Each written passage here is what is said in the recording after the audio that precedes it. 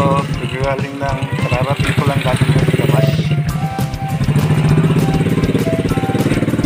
uh, ah, pagkain naman hapon sa ano, kambing ko. Yan lang.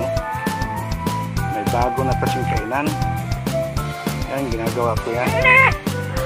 Para isa na lang. Isa na lang yung mga pupunta nila. Hindi na nalagay sa tapos. Ginawan ko talaga ng kainan para hindi masayang yung mga pagkain nila. Yan, si Anglo. Lumabas na si Anglo. Nagantay na.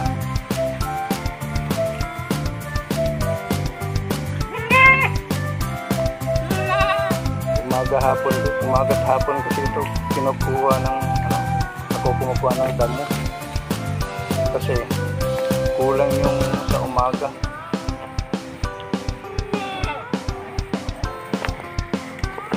yan yung sa umaga na tira pero kumuha naman ulit para pang, pang, pang hapon nila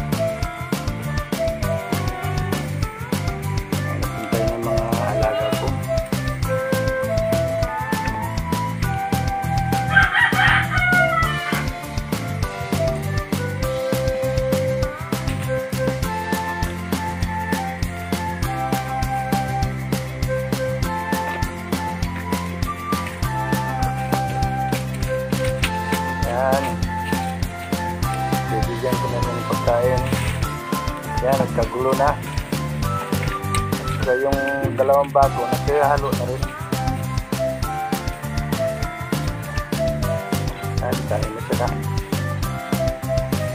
Ano itong pinapakain ko ng pinagkuha kong damo? Cover crop. Uh, gustong gusto kasi nila ito. eh. Yan. Pinupuno ko yan. Kasi para isang lagayan lang. Sila, ganun sila, paikot-ikot lang, kain ng kain. Yan, si Turo. Ito yung papalit ko, itong ang haba ng tenga. Ito yung pap- papalit ko sa Turo. Ang blue yan, ang blue. Ito, itong mga maliliit na ito, tagtatlong buwan ng bulang pa lang ito. mga 4 and a half months bago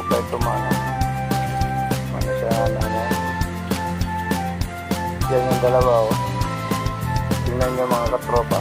Yan yung dalawa na bago. So halo na sila.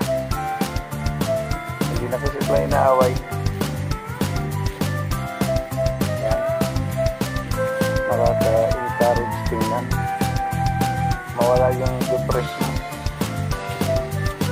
Nakita mo yung alaga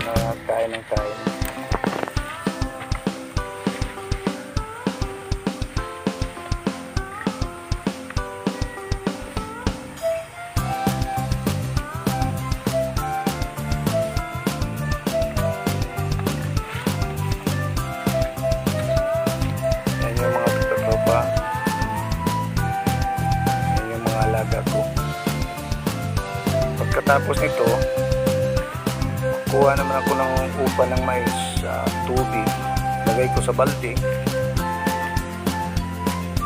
Ah, ihalo ko yan.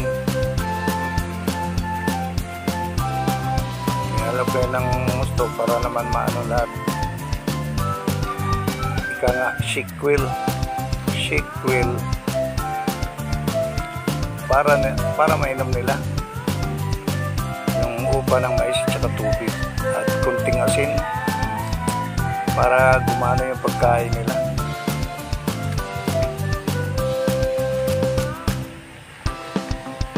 Maya maya kukuha ko ng ano, upa ng mais at saka tubig para be, ikainom. Yan.